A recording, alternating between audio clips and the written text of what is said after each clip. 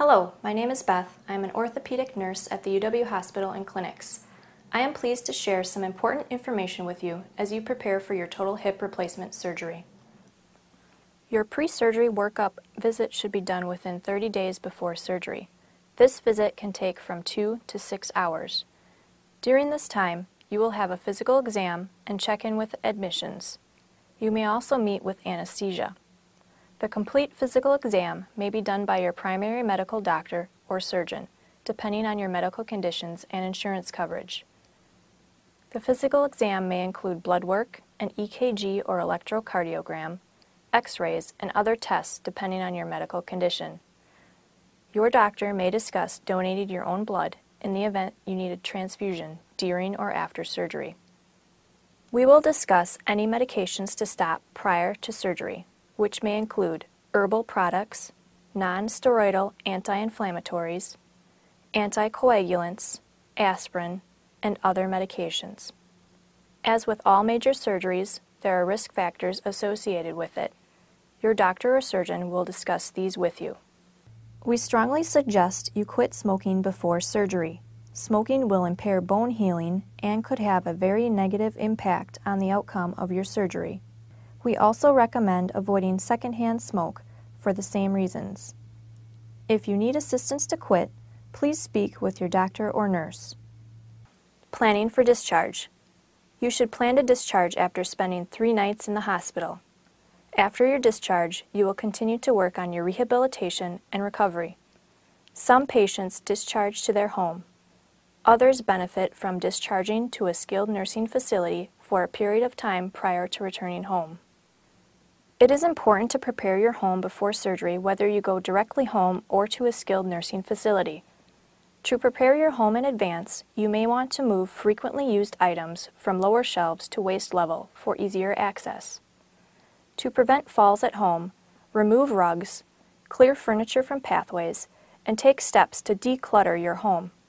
Watch out for pets that may run in your path, water spills, bare slippery floors, long cords such as phone or fan cords, and ice on steps and porches.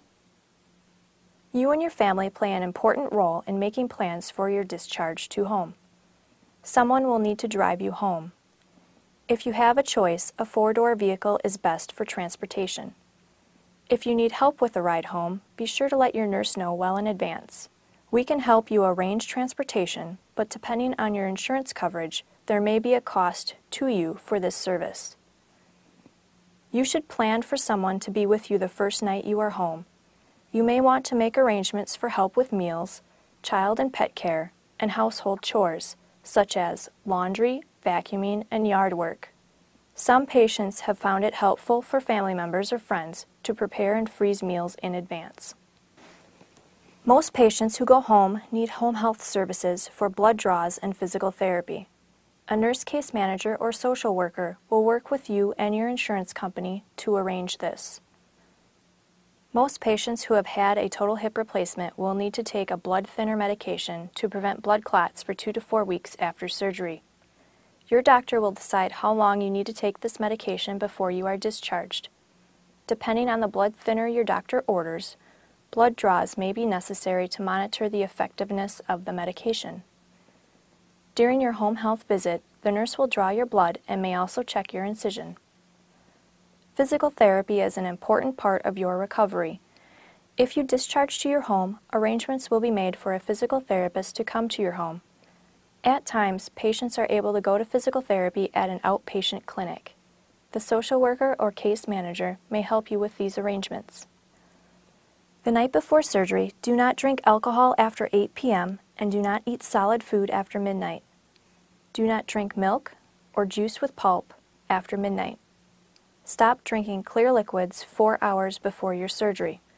Examples of clear liquids include water, popsicles, carbonated beverages, juices without pulp or solid material, tea without milk or creamer, coffee without milk or creamer, jello gelatin, but only if it's homemade, clear protein drinks, and bouillon cube broth or consomme broth. Examples of some things you should not eat or drink are store-bought jello gelatin, jello gelatin with fruit, and canned chicken broth with fat in it. It is important that you follow the instructions provided by your doctor.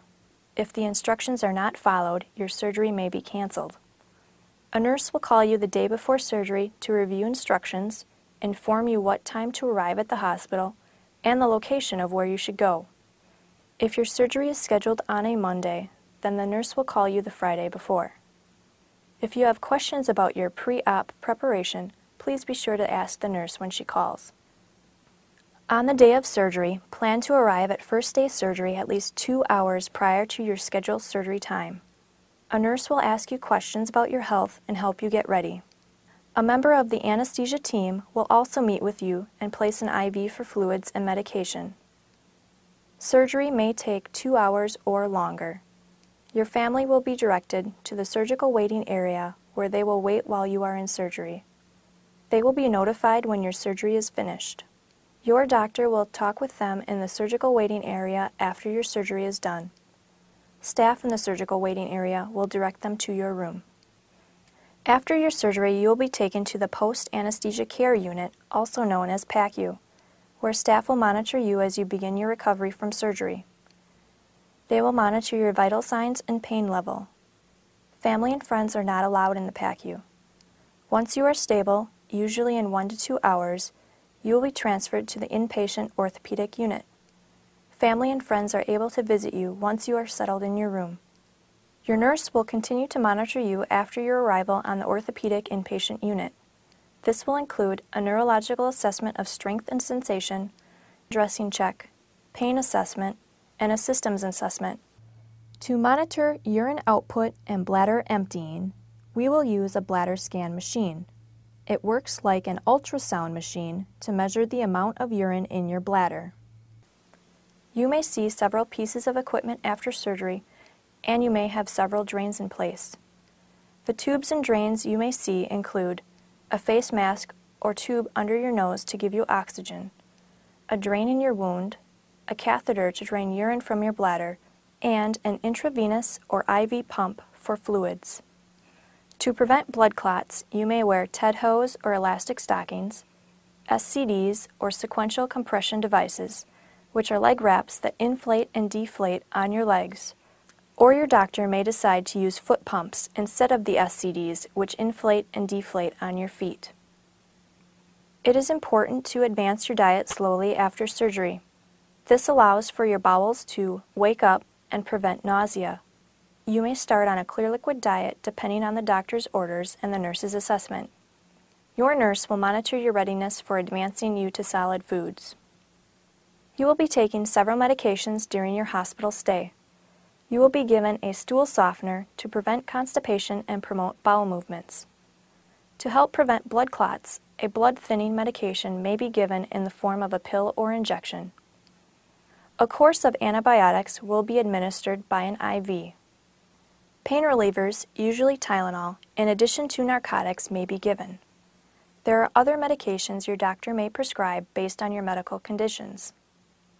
One of the biggest concerns after surgery is how pain will be managed. Although everyone's pain tolerance varies, you should expect some degree of pain after surgery. There are several options your doctor may choose for pain management. He may order a combination of oral pain medication, intravenous pain medication, or an epidural. An epidural is a catheter inserted into your epidural space in your back to provide pain relief. Usually the epidural catheter is removed the day after surgery. Our goal is to manage your pain with pills because they provide longer acting coverage than other medications provide. Some patients find relief from methods other than medication. These include ice therapy, deep breathing exercises, distraction, and repositioning. Your nurse may use a combination of these techniques. To aid in relaxation, we offer a special TV channel called the CARE channel, which provides a continuous relaxation environment. Your nursing staff can help you find this on the television in your room. You are a very important part of your pain management plan and will need to talk with the nursing staff about setting realistic goals. They will work closely with you to find what works best for you.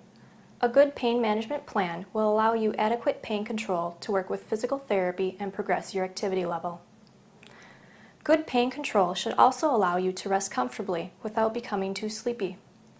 Everyone responds differently to pain medications, and it often takes a period of time to find what works best for each individual patient. There are potential complications you may be at risk for after surgery. These include pneumonia, deep vein thrombosis, DVT or blood clot, hip dislocation, infection, and constipation. The following sections will discuss each of these potential complications in more detail. To prevent pneumonia after surgery, the nursing staff will show you how to use an incentive spirometer. An incentive spirometer is a device which provides you with a visual marker while taking deep breaths. You should also cough and deep breathe. Using the incentive spirometer and coughing and deep breathing helps your lungs to expand and prevent secretions from pooling in your lungs. Increasing your activity level and participating in physical therapy may help prevent pneumonia. To use the incentive spirometer, first, exhale. Place your lips tightly around the mouthpiece. Next, take a slow deep breath to raise the flow rate guide between the arrows. Hold it. Continue to inhale, keeping the guide as high as you can for as long as you can, or as directed by your nurse or respiratory therapist. Then, remove the mouthpiece and breathe out as usual. Slowly repeat 10 times each hour while you are awake. Patients who have had this surgery may be at risk for getting a deep vein thrombosis or blood clot. The most common symptoms of a dangerous blood clot in your leg are severe leg swelling, pain, redness, or tenderness in your calf. A clot in your leg can go to your lungs. This is called a pulmonary embolism or PE. The most common symptoms of a pulmonary embolism are shortness of breath or chest pain while inhaling. If any of these symptoms occur while you are in the hospital, notify your nurse right away. If any of these symptoms occur after you have been discharged from the hospital, you should immediately contact your doctor's office or go to the emergency room. To decrease your risk of getting a blood clot, you may wear TED hose, SCDs or foot pumps, and take medicine to help thin your blood.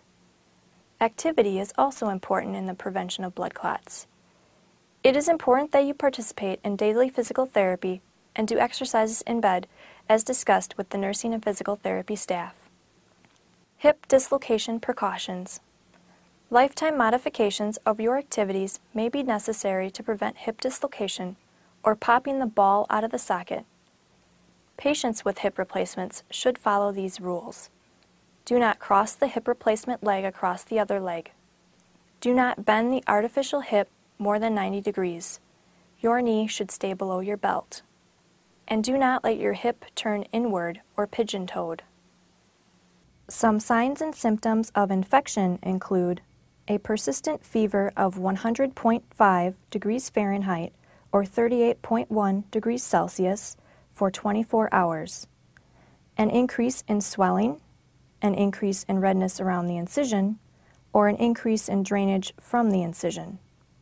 If you experience any of these symptoms after discharge, you should contact your doctor's office. A mild fever is common following joint replacement surgery and does not always indicate infection. The fever should slowly decrease with time.